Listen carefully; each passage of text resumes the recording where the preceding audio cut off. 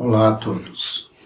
Nós estamos no mês de julho, mês destinado ao combate às hepatites virais. Eu gostaria de colocar aqui algumas particularidades da infecção pelo vírus da hepatite B.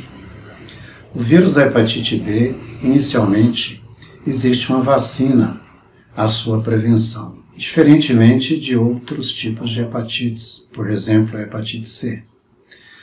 Além disto, o vírus da hepatite B ele possui uma particularidade.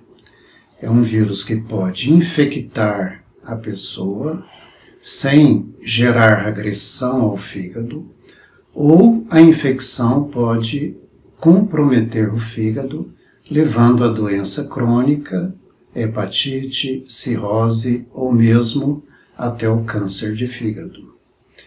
É extremamente importante esse diagnóstico diferencial. E para que a gente possa fazer a diferenciação entre infecção e hepatite, nós devemos acompanhar o paciente, ou seja, nós devemos ter um filme do paciente, não apenas uma fotografia num momento único. Dessa forma, nós podemos, uma vez diagnosticado a hepatite, ou seja, a agressão ao fígado. O paciente deve ser tratado.